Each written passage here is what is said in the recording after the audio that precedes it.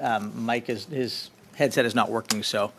Uh, just wanted to make sure that's also stated. So uh, it reads as follows uh, that in relation to clause by clause consideration of Bill C 21, an act to amend certain acts and to make certain consequential amendments, firearms, Amendment G4, currently under consideration by the committee, be deemed withdrawn, and that Amendment G46, which has not yet been moved, be deemed withdrawn from the package of amendments. It is not our intention, as I noted, to move Amendment G4.